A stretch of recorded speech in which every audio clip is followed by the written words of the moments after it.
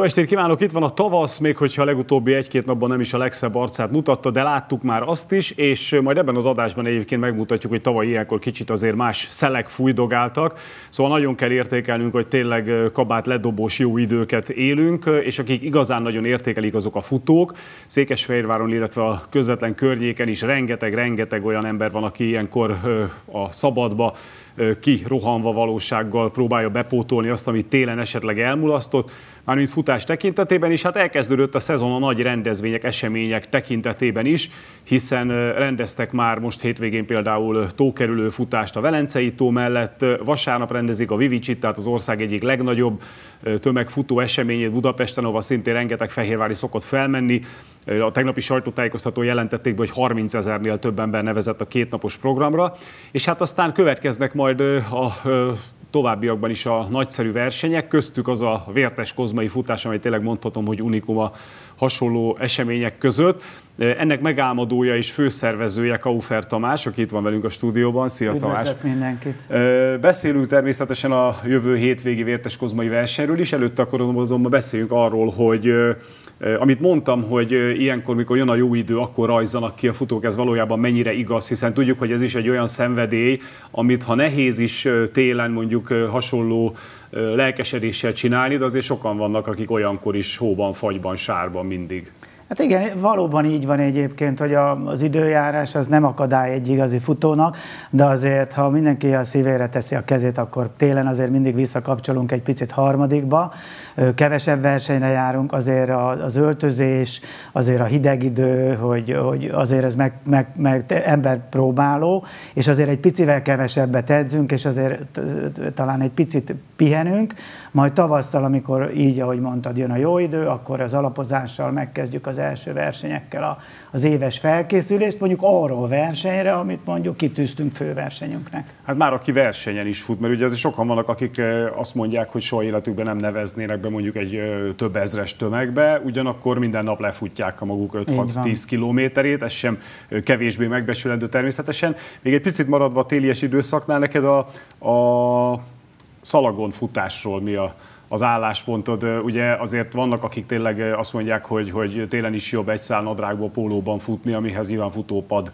ad megfelelő lehetőséget, ugyanakkor hát vannak sokan, akiknek ez vagy nem jön be, vagy egyszer nem ugyanaz, mint a... Hát, va- valóban, hát itt, itt szerintem az, hogy tényleg kinek mi a lehetősége. Én egy vagy két télen próbáltam ki picit hosszabb távon a futópadot, azért az, az mindenképpen azt tudni kell róla, hogy egy, egy fázis az kimarad, tehát az eltolási fázis az kimarad, mert ugye jön szembe a futópad, tehát azért azok az izmok, a combhajlító izmok, illetve amivel toljuk el magunkat a, a, ugye a, a földről, az kimarad, de van ismerősöm, aki akár maratonra is fel tudott ezzel készülni. Nekem azért monoton volt, tehát ott azért fél órát, egy órát, másfél órát terembe futni, még a tévét nézel, Hát szerintem azért a futásnak ez a lényege, hogy kimenni a szabadba, és ott roll. A, a nagy kérdés tényleg, hogy hogyan vágjunk ebbe bele tavasszal, amikor, hogyha valaki tényleg esetleg télen pihent, vagy kevesebbet futott, nyilván vannak olyanok is, akik teljesen leállnak, Szóval ez is egy kicsit olyan, mint amikor azt mondjuk, hogy a kerékpárt föl kell készíteni, amikor újra felpattanunk, olajozni, kenni kell, átnézni. Az embernek a futásnál ugye saját maga a kerékpárja, tehát a saját szervezetével kell tisztában lenni.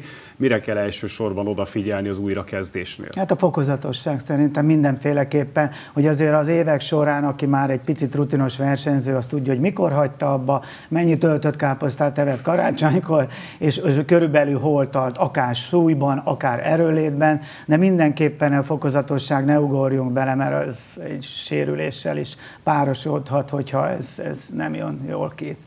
Az időjárási körülményekre mennyire kell figyelemmel lenni? Nagyon, nagyon, de nem osz, nem szoroz. Tehát egy igazi futó, hát kinézünk az ablakon, megpróbáljuk kitalálni, hogy körülbelül mit vegyünk fel, és ez pár nap alatt egyébként, pár hét alatt kialakul, hogy kinek mi a, a ruhatár, hogy mi, miben érzi jól magát, ez csak tapasztalat. Elmondás elég, elég csalóka tud lenni, mert az ember tényleg várja, hogy kisüssön a nap. Na kisüt, meg egy kicsit esetleg csiripelnek a madarak, de mondjuk azért 10 fok alatt a körül még például a rövid felszerelés Igen. az nem túl Én mindig azt mondom, jó. ha tényleg tőlem kérdeznek tapasztalatlanabbak ilyeneket, hogy az, az nem baj, legfeljebb kellemetlen, ha egy picit melegünk van Vetközni ugye már közben nem tudunk, főleg ha azért az hűvösebben megfázhatunk. Ha melegünk van, ez egy picit kellemetlen, de ha fázunk kint, az azért az izmoknak se jó, meg hát megfázunk ennyi.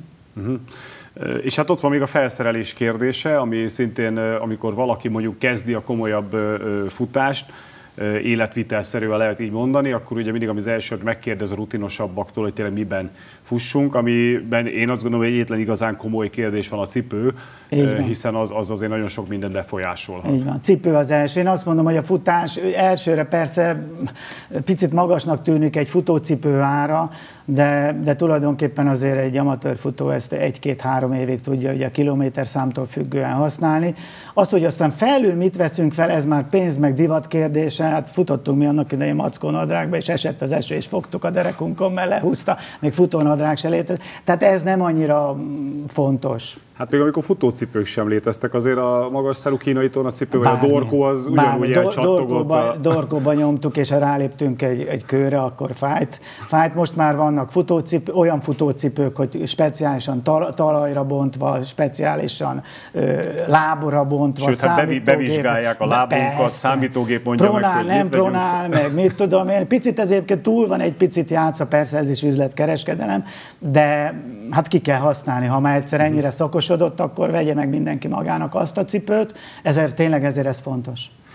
Na és mitől lesz valaki igazi futó? Ez egy nagyon-nagyon, hát olyan kérdés, amiről gyakorlatilag regények születtek, hát filozófusokat, meg Persze. írókat ismerünk, akik, akik elkezdtek futni, és aztán könyveket szenteltek ennek a kérdésnek. De nagyon a földhöz ragadt szinten maradva, ha valaki elkezd kocogni, azt mondja, hogy kicsit kipróbálom, mennyit bírok, és akkor lehet, hogy először egy kört bír, aztán kettőt, aztán egy kilométert. Mitől és mikor válik igazán futóvá valaki? Hú, hát ez, ez változó. Azért egy bizonyos erőlétet el kell ahhoz érni, hogy élvezze az ember a futást, mert onnan, addig azért ez egy macera. De szerintem egy-két hónap alatt el tudunk jutni egy olyan fizikai állapotba, ami már egy önbizalmat tud adni, és, és akkor, akkor a következő edzésre már bátrabban ki tudunk menni. Az első talán én, én, én tapasztalatból is, ilyen sérülésekből vagy kihagyások után magamat, amikor el tudod felejteni, hogy te futsz. Tehát egy picit elkalandozik a gondolatod bármire jön a tavasz, madarakat látod, virágokat látod, vagy hét, hétvégén vidi meccs van, nagy Isten, és akkor picit elmegy az agyad másfelé, és akkor észreveszed, hogy, hogy mint kocsiba is szokott ilyen lenni, hogy ja, már itt is vagyok. Igen, ott veszélyesebb, ott meg, itt meg elese. De, tulajdonképpen, amikor pár másodpercre, pár percre elfelejtett, hogy te tulajdonképpen tényleg most... De ehhez nagyon kell ismerni magát az emberek, nem? Mert én is futok elég régóta, és épp a napokban volt egy olyan futás, amikor kb. ez az élményem megvolt, hogy amit te mondasz, hogy annyi mindenre gondoltam, és közben azt néztem, hogy úristen, már 7 kilométert futottam, és még, még el sem fáradtam. De ehhez azért tényleg tudnia kell az embernek, hogy mi az a tempó, mi az a, Igen. Ö, amit magának megengedhet. Mert azért a futás, legyünk őszinték, azért tud, tud nagyon-nagyon fájni is, és, és hát, szenvedéseket okozni. Hát azok már, az, azért azok már speciális, amikor már nagyon fáj, akkor egy speciális versenyre készülünk, bizonyos kilométert abszolválni kell. Az elején még azért nincsenek ezek a dolgok, de ez, ez jön magától egyébként. Tudja, az, azért jó egy óra, ha van az embernél, nem kell akármilyen pulzusmérő, repülőgép, hogy hívják, stílusú, tehát ilyen nagyon szuper óra, de azért azt tudjuk, hogy most körülbelül egy kilométert futottunk, azért kíváncsiságból ránézünk, és akkor ehhez már tudunk adni. És, és... Hát az okos telefonok is sokat segítenek Például. ebben, ugye a különböző alkalmazásokkal. Azok a nagy versenyek, amiket rendeznek, és Magyarországon is tényleg se szeri, se száma, szerintem gyakorlatilag mostantól minden hétvégén lesz lesz, nem tudom én, novemberig biztos valamiféle futó esemény. Ezeknek az egyik előnye például akkor az lehet nem, hogy valaki, aki mondjuk elkezd futni, kitűz egy célt maga elé, és azt mondja, hogy nem tudom én áprilisig, vagy, vagy szeptemberre a, a nagy Budapest maratonra olyan állapotba akarok kerülni, hogy azon részt vehessek, és le tudjak futni egy kijelölt távot. Tehát magyarán egy jófajta célkitűzés lehet, hogy egyszer eljutni egy, egy olyan megmérettetésre, ahol jó érzéssel teljesítek egy Igen. kimért. Nem megy távot. másképp, meggyőződésem. Tehát az, hogy, hogy, hogy most lemegyek, és majd egyszer futok egy félmaratont, vagy maratont, vagy csak 10 kilométert, és akkor most edzem, de most, ha nincsen cél, és nem csinálunk azért egy, egy, most már versenyterveket is le lehet tölteni, de tapasztaltabb futó van a városban nagyon sok, valakit felkeresünk, ismeretső, hogy egy, egy edzéstervet, tehát valamihez tartani kell magad, mert ha ezt nem tartod be, ak- akkor elcsúszik az egész, úgy, úgy elveszti az egész a lényegét. Uh-huh. Hát ennek megfelelően persze óriási üzlet is lett, és nyilván aki egy ilyen részt, egy ilyen részt vett, az pontosan tudja, hogy azért ez ma már hihetetlen infrastruktúrával, szervezettséggel járó dolog.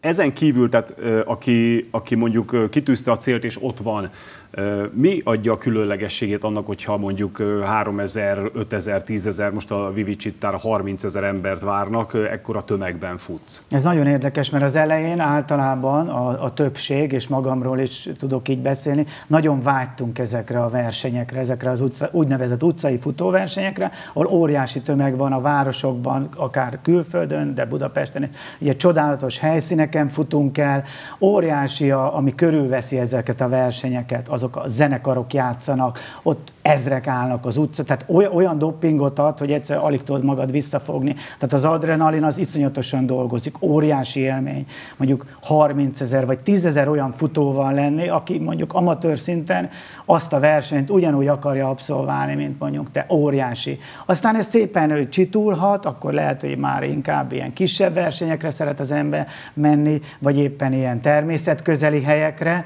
de, de azért egy, egy Budapesten futni az nem akármi, vagy éppen Prágába, hogy pont egy éve dobáltak ki nekem most a Facebook Prágába voltunk, vagy nekem megadatott az, hogy februárban Tel Avivban futottam egy félmaratont, ezek azért fantasztikus élmények, és ezek azért kellenek nekem legalábbis, én most magamról tudok beszélni, hogy ad egy motivációt, tehát az, hogy kimegyek, és minden nap ugyanazt a sárpentelei kört lefutom, azért az elég macera, de ha van néha egy-egy ilyen, ami megbontja, ez Viszont... hónapokra hónapokra tud. Ez is nagyon jó motiváció, hogy hasonló, hasonszörű embereket látsz magad körül, hiszen ott nem biztos, hogy te vagy a legkezdőbb, nem biztos, hogy te vagy a legprofibb. Van egy csomó, aki egy kicsit jobbnál, egy kicsit gyengébb, akit húzhatsz, aki után futhatsz.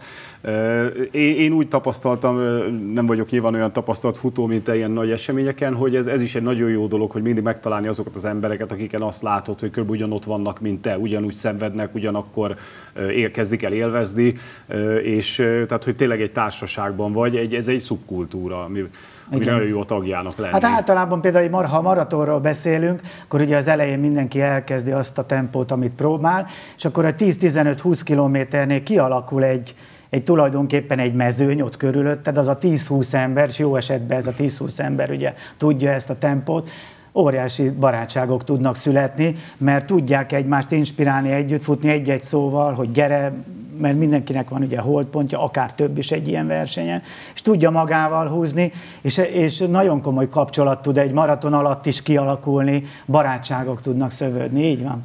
Hát reméljük, hogy már ezzel is sikerült kedvet csinálni esetleg azoknak, akik még csak gondolkoznak rajta, vagy akik még ilyen nagy versenyen nem vettek részt.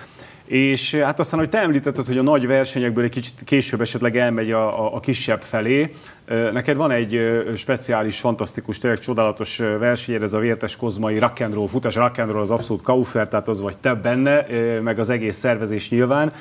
Egy nagyon rövid történelmi áttekintés, most nem tudom, jövő vasárnap lesz ugye Igen, az újabb. Hanyadik lesz. lesz már? 14. 14. alkalom. Tehát amikor először kimentél, nyilván látta egy gyönyörű helyet a Vértesben, azonnal megfogalmazódott, te mi kellett ahhoz, hogy ebből Igen. verseny legyen? Igen, már régóta egyébként valahol hátul itt az agyamba ott volt, hogy nekem valami ilyennel kell foglalkoznom, és amikor először kimentem családommal oda nyaralni, ak- akkor én már éreztem, hogy itt valami lesz, és a következő évben aztán meg is csináltam, 12-en álltunk rajthoz. Az első... Valahol kezdeni kell, igen, kis manufaktúra volt még. 12-en álltunk rajthoz, ebből még hárman vannak, mondhatom a neveket, Szabolcs Feri, Markot András és Hergovics Gábor az, aki mind a 13-at teljesítette, és most jövő vasárnap a 14-re is rajthoz fognak állni.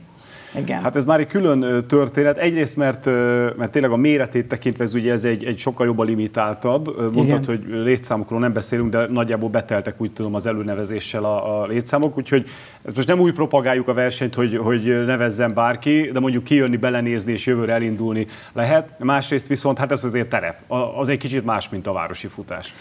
Igen, itt azért hegyvölgy van. Ez, ez egy, tulajdonképpen ez egy, ez egy Vértes Kozmán, ez egy lezárt erdészeti út, ami nagyon különleges engedélyek kellenek, egész hosszadalmas procedúra, nagyon szigorúan veszi az erdőgazdaság.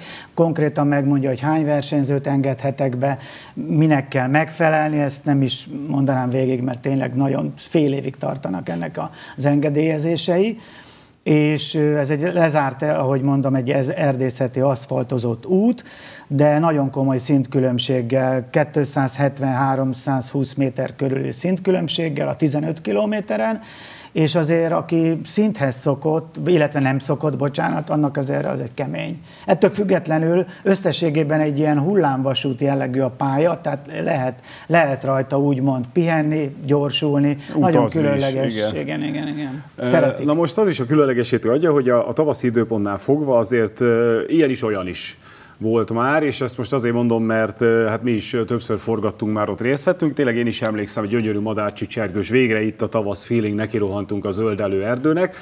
Most viszont megmutatjuk, hogy mi volt tavaly, amikor itt volt Vértes Kozmán, akkor a 13 hát elég különleges időjárási körülmények között, pedig hát olyan nagyon nem tért el a mostani naptár. Itt egy hónap talán Egy hónap volt. Igen, tehát egy hónap tavaly volt. március közepén milyen volt, az ott készült rövid riportot mutatjuk most meg. Vértes Kozma tavasszal is mindig szép, a tavaszi télben pedig egészen különleges volt.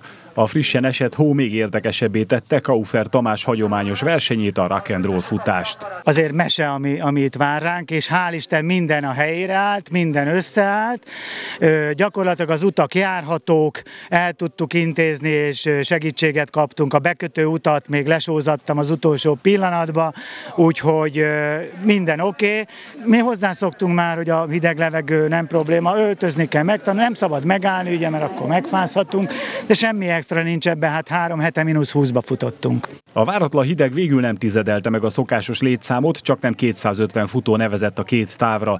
15 kilométeren, mint minden évben ezúttal is rajthoz állt száraz Dénes. A színművész szerint a futás a fizikai és szellemi kondíciójának is jót tesz a színpadon. Hogyha a színpadon fizikai dolgokat kell csinálni, akkor azt valóban jobban bírom, mint más színész.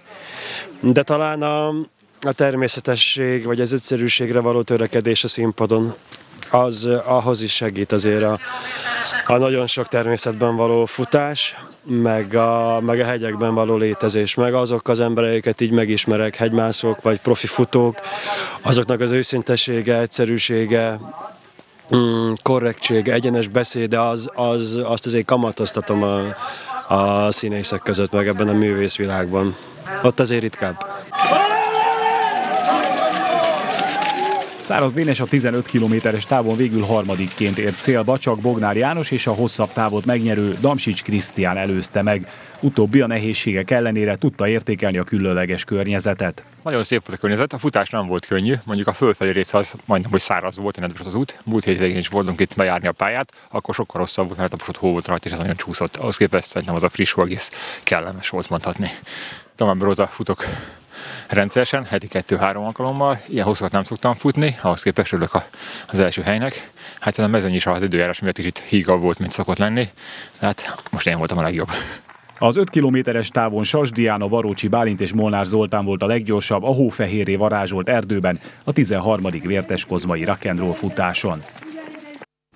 Na hát ilyen nem lesz most, sem a havas erdőt, sem Kaufer Tamás szakkálát tekintve, aminek a fő, fő szórakozás nekünk ez volt, hogy gyakorlatilag azért a, te, tehát az erdőz megfelelően télapónak költöztél tavaly, és gyakorlatilag még olyan fehér is volt a szakállat. Ez, ez ez súlyos, igen, ez súlyos volt. Most én ránéztem, és azt hittem, hogy igen, mondták sokan, hogy Tamás, ez lehet, hogy picit sok, most, most, most úgy érzem, igen, tehát rock and roll erről szól. A, erről szól.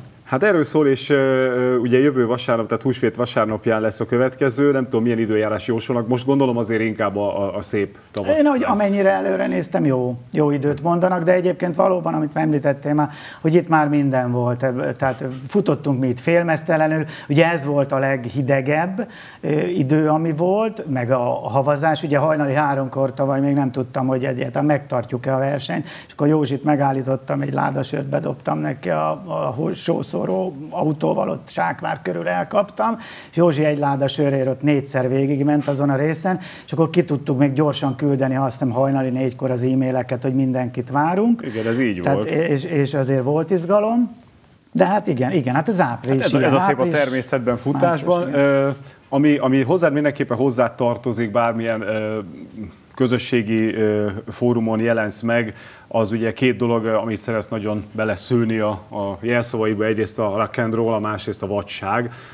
Vagyis, hogyha futásról beszélünk, akkor ez, ez nem tudja, azt szimbolizálja, hogy te most már tényleg ez a természetközeli élményeket keresed, vagy pedig mindig valami olyasmit, amit, amit még előtted mások nem. Hát valahogy jó, szerintem jól megfogalmazott. Ne, én nagyon, sokat, nagyon sokáig annyira jó gyerek voltam, de tényleg. És akkor rájöttem arra, hogy ahogy az ember idősödik, öregszik, hogy nekem már nincs annyi időm, hogy én jó legyek, és akkor most talán így próbálom ezzel kompenzálni. Most már én rossz akarok lenni vad, és mindig valami olyat kitalálni, ami, ami ad, ad, ad, adnak ezek a dolgok egy szabadságérzés, és szerintem en- ennél jobb dolog nincs, mint például szakadó esőbe futni. Ezt nagyon sokan nem is csinálják, nem is tudják, miről beszélünk, de hát ez fantasztikus.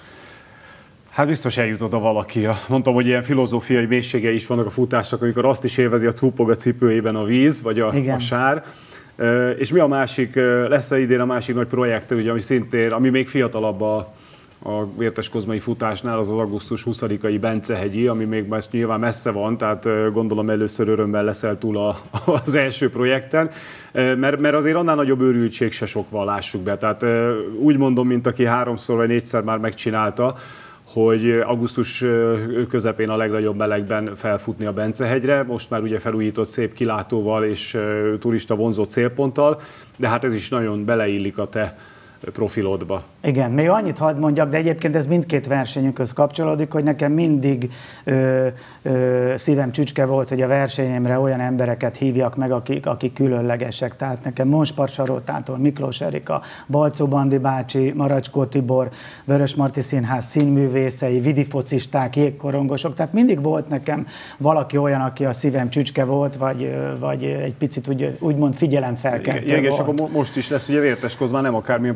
produkció. Igen, és akkor most ö, próbáltam. Tavaly, tavaly egy picit talán ez leült ez a dolog, és azonnal számon is kérték tőlem, hogy na, mi van Tamás, most nem találták ki semmit. Ott és volt akkor- a hó. ott volt a hó, igen, igen, arra rá- ráment az energiám, igen.